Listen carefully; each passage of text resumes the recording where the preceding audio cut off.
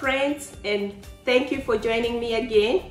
Today I have two very exciting recipes for you.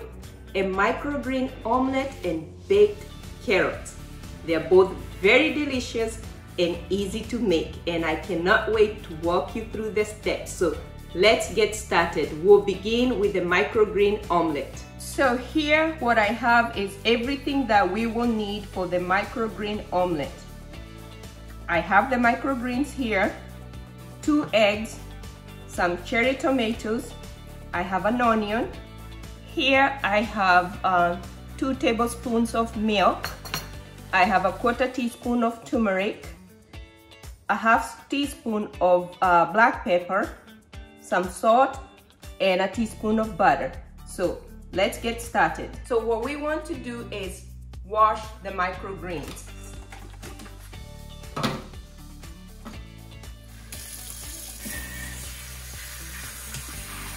And then we want to dry them with a paper towel. Make sure that they do not have any water.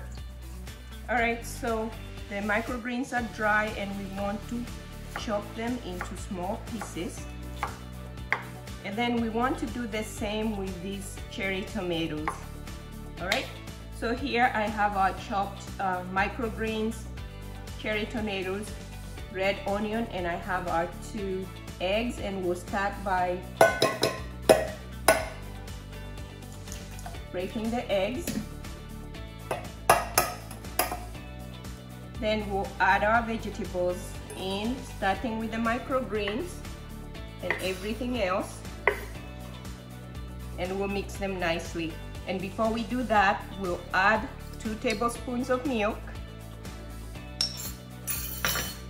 quarter teaspoon of turmeric,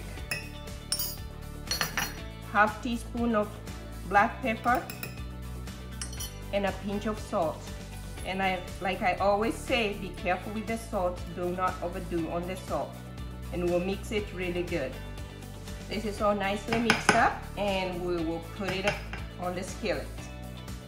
So here I have a skillet turned into medium and we want to melt the tablespoon of butter. You want to put your omelet and cover it to cook for about five minutes.